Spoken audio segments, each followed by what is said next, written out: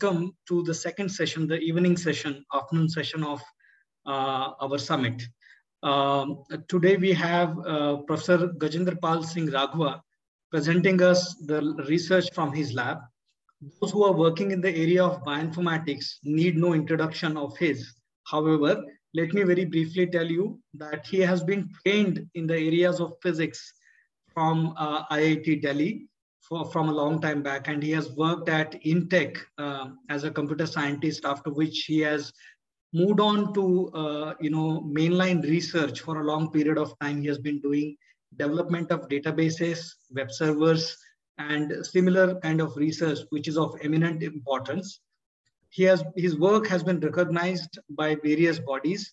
He has been elected fellow of National Academy of Sciences, Indian Academy of Sciences, and he has he's a prolific researcher and has published in a large number of journals as well as uh, he has uh, he has got a fantastic uh, profile when it comes to his google scholar if you look at citations uh, of his research uh, so without much ado uh, I would like to pass the stage to Professor GPS Raghava. Thank you, Felix. And this session is basically chemoinformatics and pharmacoinformatics. Unfortunately, due to some reasons, Dr. Sastry unable to attend, uh, deliver the talk at this moment. So I am doing a fill in the blank.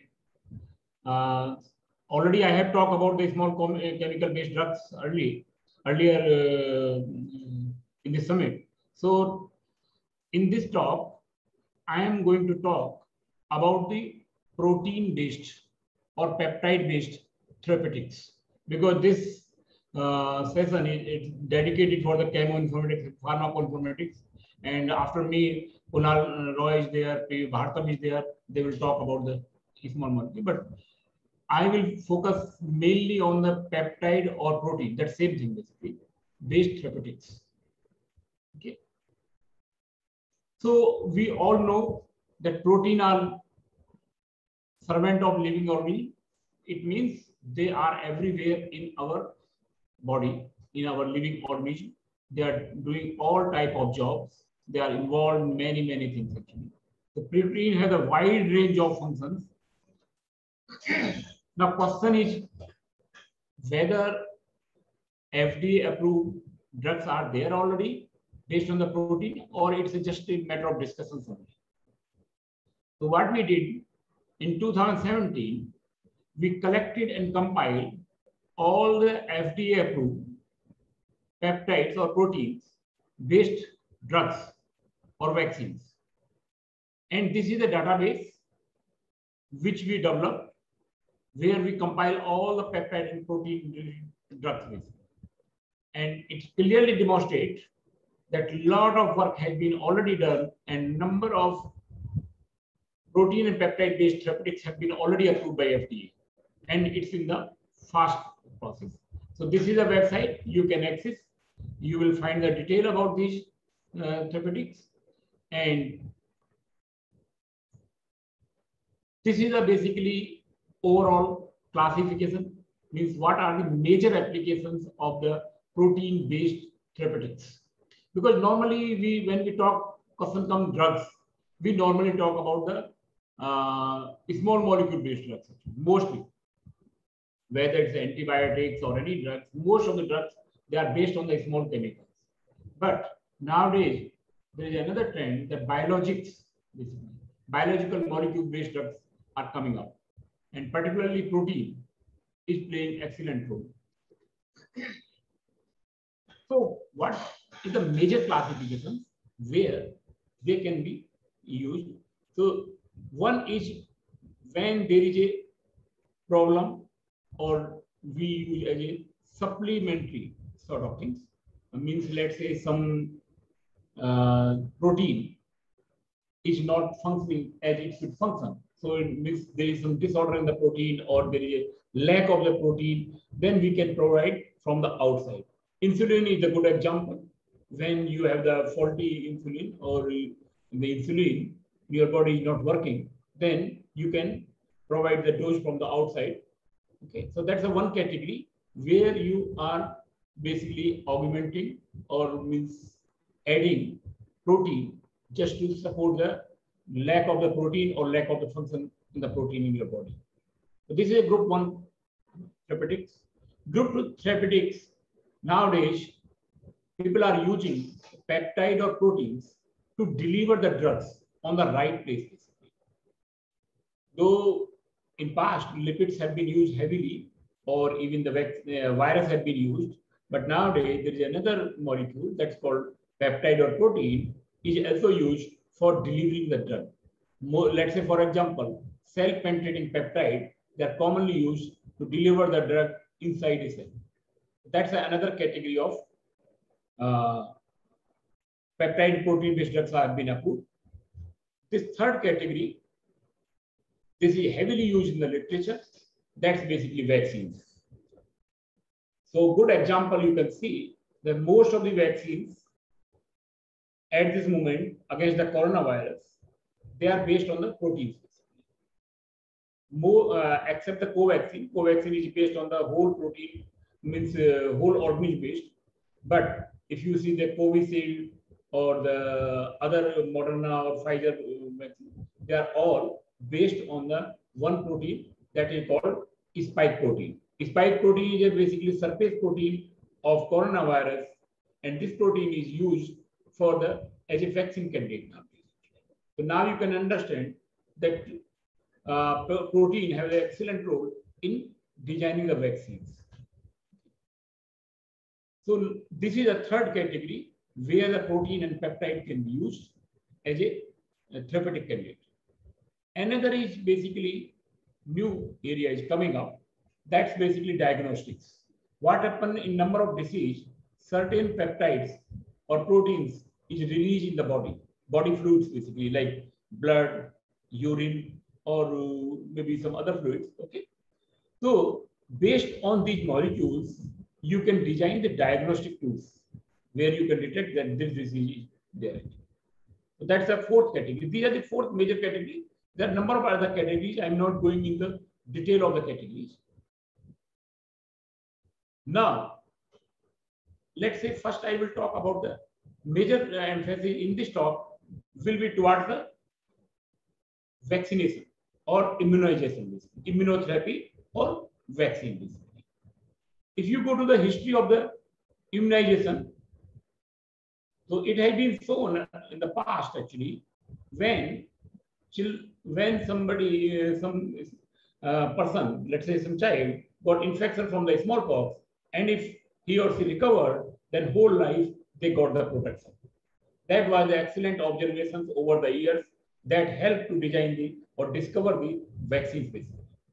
Okay, so immunity induced a process known as vaccination, and this have been used later on to design the vaccines basically. So this is a basically well-known process that uh, of the vaccines. So question is basically what is vaccine basically? Vaccine is nothing it's the artificial way to train your immune system so your immune system can fight against the particular disease. For example, you are giving the spike protein to your body in Covishield.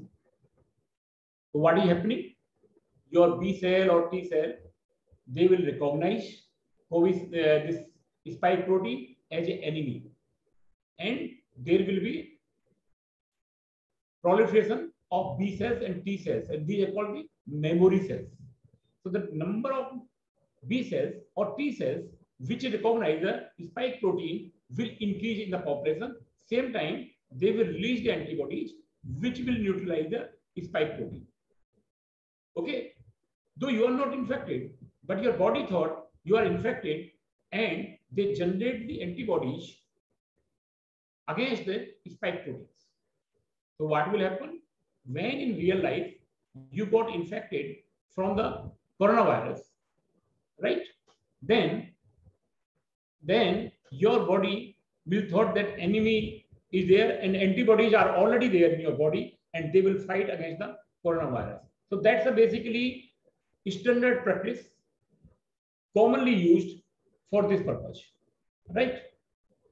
So question is basically how you can do vaccines for the others basically. Others means uh, there are number of uh, diseases are there for which there is no vaccine is there. So can we design?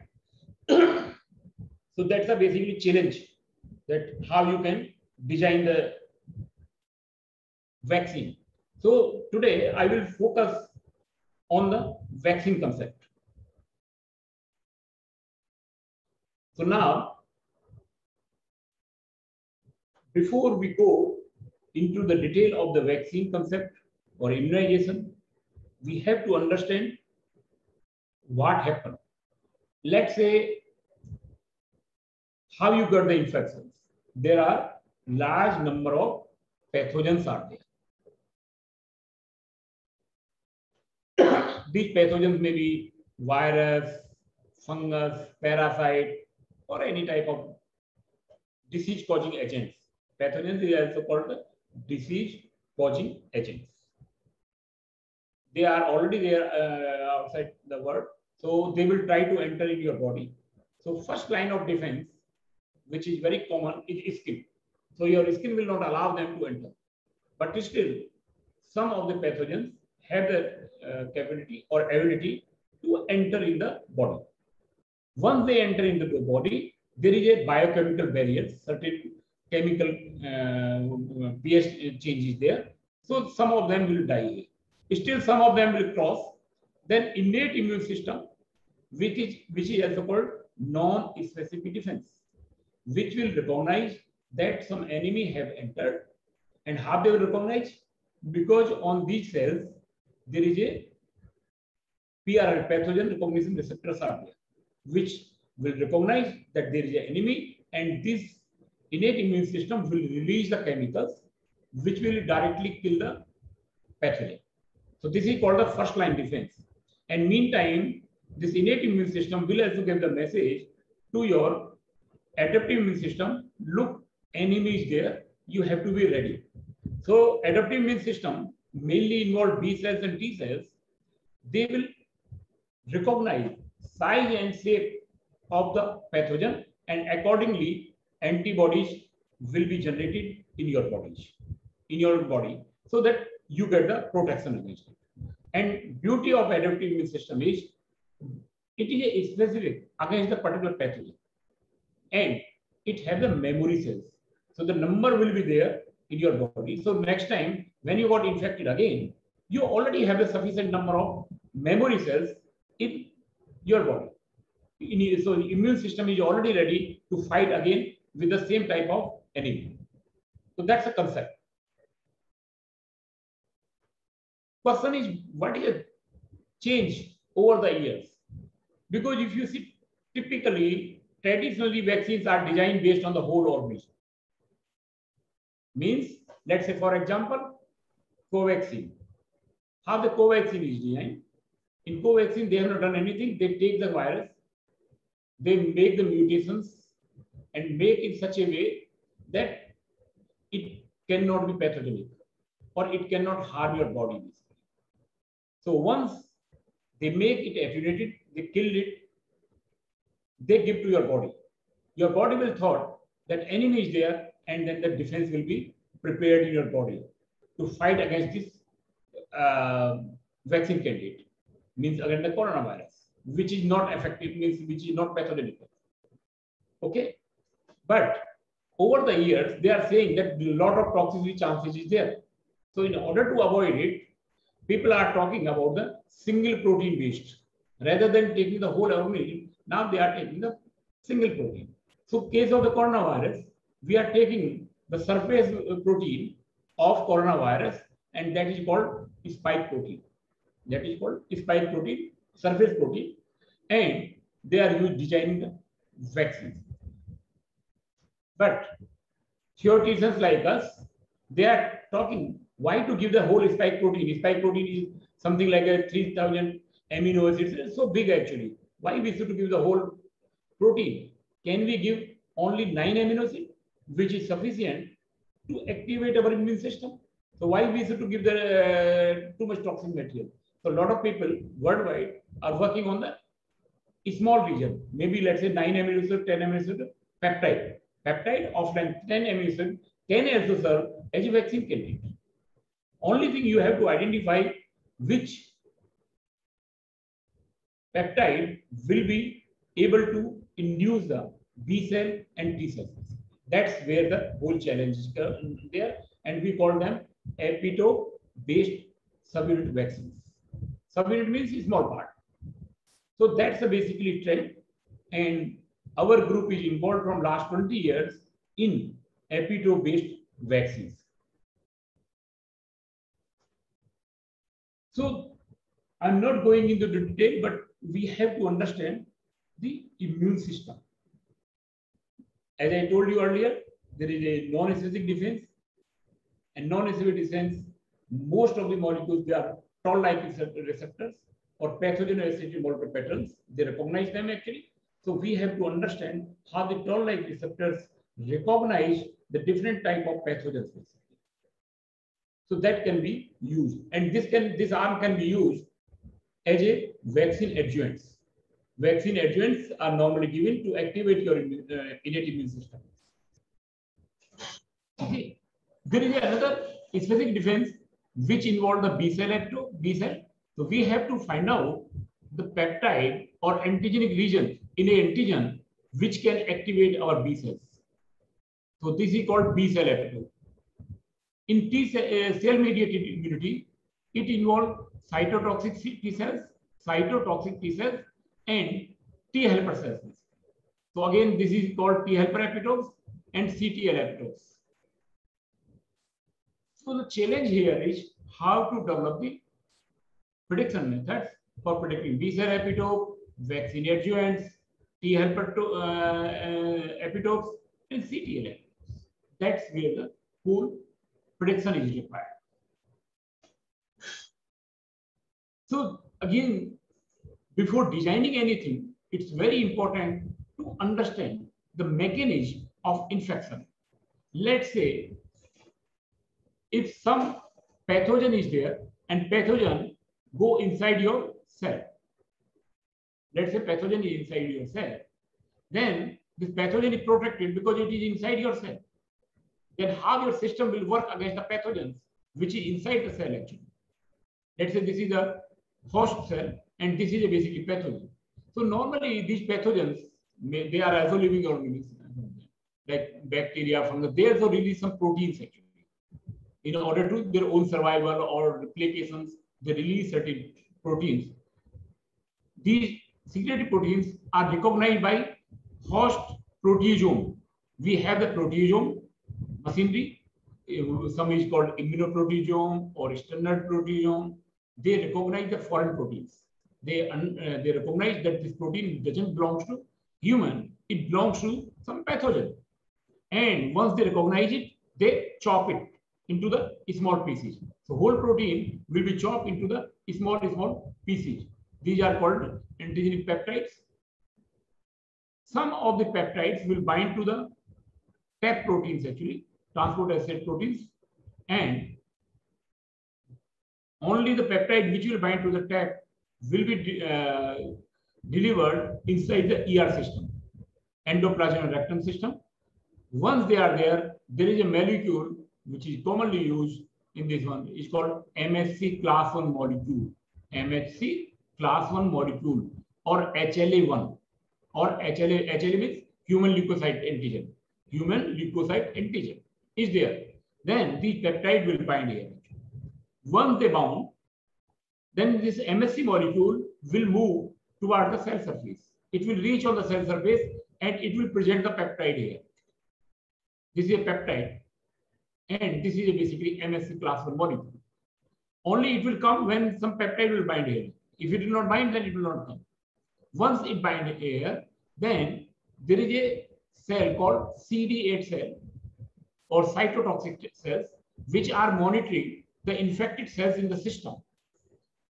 They have the receptor, T cell receptor, which will recognize MSC class 1 and will get the signal, look, this cell is infected because MSC is have the bounding peptides.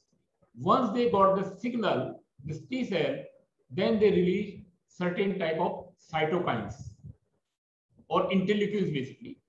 And these cytokines will kill the cell itself actually. So infected cell will be lysed, will be killed, will be removed from the body. So that's a process. The question is basically what the computer is doing here. Actually. How we computers and biologists can help in this, uh, this process. First thing, proteasome doesn't recognize or chop any peptide or pro any protein randomly. It has a certain pattern. On the certain pattern, it recognizes sites in the protein and then chop it. So it's very important if we want to know what type of antigens will be generated from a peptide, we should to know what should be the cleavage sites, how, where it will cleave. So there is a number of softwares like P cleavage is developed from our group and NetChop is developed by other groups is already available for this purpose. So all peptides after chopping is not bound with the tab. Some will be bind. So how to predict this one is basically again, there's different methods. These are the methods which predict whether a peptide will bind to the tab or not. Then this method is there. And from our group, we developed this peptide. And once they bound here, here then all peptide will not bind to with the MSC class molecule. Only certain molecule will bind. So these software help you to find out which peptide from here will bind to this MSC class. Once it is there, not necessary all peptide will be recognized by the CD8 cell. There are certain peptide, again, you need the software to find out which peptide will recognize or not recognize. So it means you need the whole pipeline, whole pipeline of softwares to identify right vaccine candidate, which can be designed or maybe for the immunotherapy, you need it. So it's very important when you are a computer person, you are coming into the biology and you want to develop a software, you have to understand the mechanism of biological system. Otherwise, what will happen? You will develop some softwares which are very shallow in nature. You will not be able to understand the concept. Okay, so this is the case when pathogen is inside your cell. But there is another possibility that pathogen is outside but releasing some proteins outside the cell. What will happen? So in this case, it is a different type of processing that is called exogenous antigen processing. So antigen is outside. Okay. Now this cell will engulf it. It will engulf in the endosome and endosome will fuse with the lysosome. Lysosome is full of enzyme which degrade any protein. All right. So once this protein will come here, it will be degraded into the pieces. Some of them will bind to the MSC class 2 molecule. This is the MSC class 2. Please remember, previous one was MSC class 1. This is MSC class 2. Once they bind here, they will take it to the cell surface. They will take it to the cell surface where there is another type of cells are there. This is called CD4 cells or T helper cells. T helper cells. Now, question is basically again T helper cells. There is a TH1 and TH2. TH1 will release uh, IL4 and TH2 will release IFN gamma, uh, gamma. Okay, so we need a software which can predict which peptide will bind. We need to develop a software which cytokines will release. If we want to help the immunologist in designing the immunotherapy. Okay. So that's a mechanism for external antigen processing. So this is the first software we developed in 2001. And I will tell you the story behind this software. There was already existing software called T-Epitope. And this software, they have the conditions either pay the heavy money, that commercial software, or you uh, collaborate with them and they will allow to use your their software, but you have to give the name of uh, name of the their authors in the paper. Okay, So that was the conditions means they are basically not allowing free access. And our group from number of years is there just to fight, just to promote freeware in the biological sciences or whatever the field. We are basically uh, working hard to make the freeware more prominent because countries like India, it's very difficult to afford these costly softwares. So this software, why is so important? Because it predicts the different type of HLA alleles.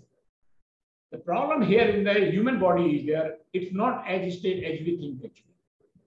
When we talk about the MSC class 1 molecule or MSC class 2 molecule, one or two, then there are different type of alleles. And all human being doesn't have the all alleles. That's the problem basically.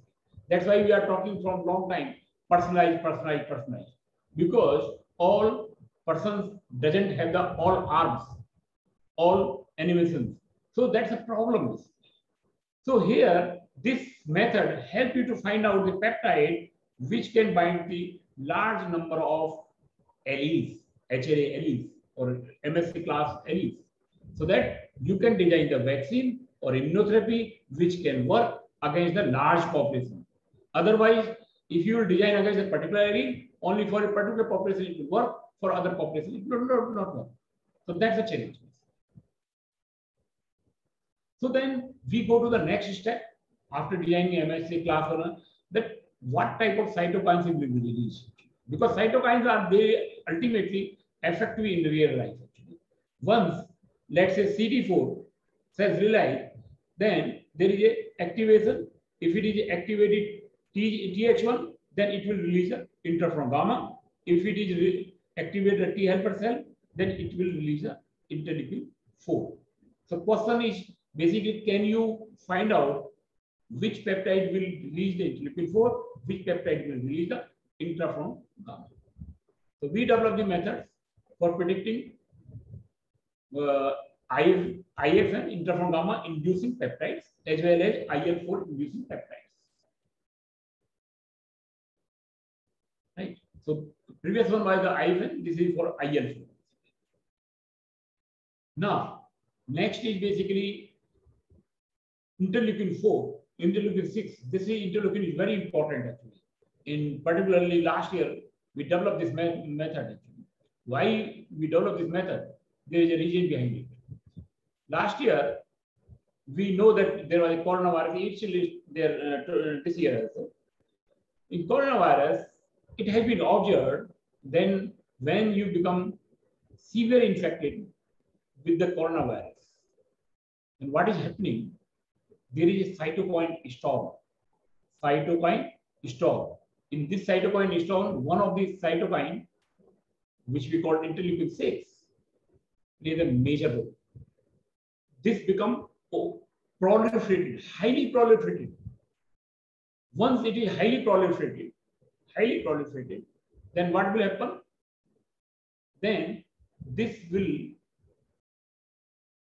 harm, this will basically injure your tissues like lungs, livers, or heart. So most of the case in the case of the coronavirus, people are not dying due to the virus because the virus is just producing more copies. It's not harming, it's not killing anything, but anybody actually. What is happening? Our over immune system become overreactive. Means it thought that enemy is there just to kill the virus it produces too much cytokines. Though these cytokines are used for the defense system, but if it become too much actually, what will happen? They will already harm or they will basically destroy our own tissues. So we design this software to predict the peptide which release the interleukin 6 basically. So in order to understand the concept basically.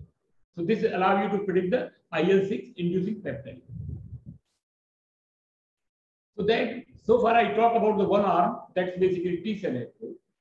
Now there is another arm called B cell. In case of the B cell, they release the antibodies. And these antibodies directly attack the pathogens or disease causing agents basically. and it has a two uh, arm basically linear B cell epitope when you are taking the amino acid sequence of the peptide and conformational B cell epitope when you are taking the structure of the protein.